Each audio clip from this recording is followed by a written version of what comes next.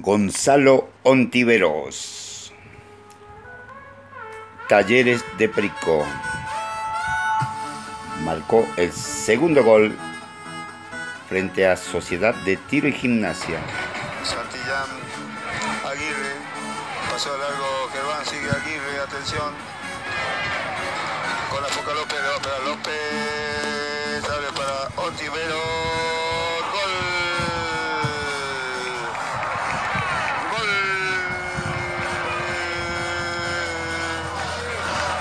Talleres de Perico.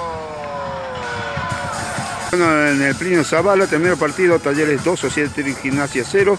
Estamos con el hombre que marcó el segundo, Gonzalo Ontivero. ¿Cómo estás? Muy buenas noches. Muy buenas noches, ¿cómo le va? ¿Qué tal el partido? Eh, bien, dentro de todo se, se hizo las cosas como, se, como lo pedía el técnico, así que laburamos para eso. Eh, al correr de los minutos pudimos encontrar el juego que queríamos, así que bueno, contento porque se ganó y quedaron los tres puntos en casa como, como queríamos nosotros. Buen trabajo físico de Talleres, ¿no? Sí, la verdad que sí, yo me, dentro de todo me sentí bien, sé que podemos dar más, este es el primer partido, este es un impulso para, para lo mejor que se viene para, para esta nueva etapa.